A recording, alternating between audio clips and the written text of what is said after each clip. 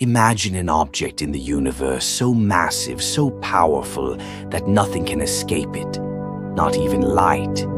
This object is not just big, it is a true behemoth with masses tens of billions of times the mass of our Sun. This is an ultra-massive black hole, a cosmic entity that challenges our understanding of the universe.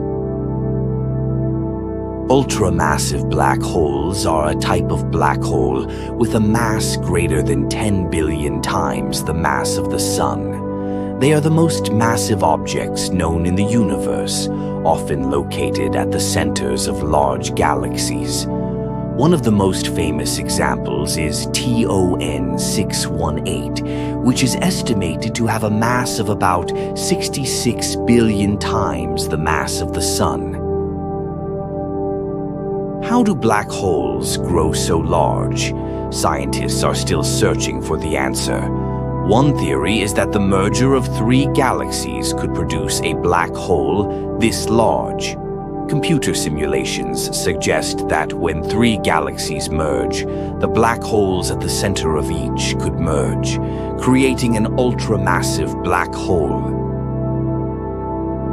Although black holes do not emit light, we can detect their presence through their gravitational effects. One method is to observe gravitational lensing, where light from an object behind the black hole is bent, creating a measurable distortion. This technique has been used to identify ultramassive black holes in galaxies such as Abell 1201 which has a mass of about 33 billion times that of the Sun.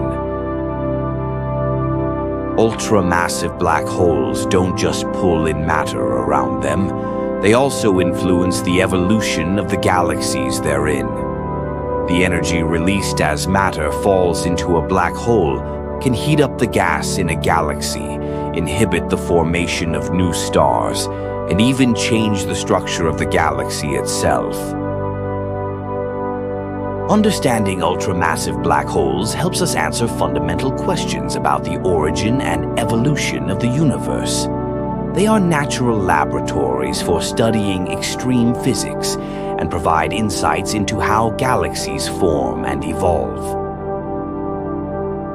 Ultramassive black holes are a reminder that the universe is still full of mysteries. They challenge the limits of our knowledge and push us to continue searching for answers. Who knows, maybe one day we will discover that black holes are not just the end of everything, but also the beginning of something new.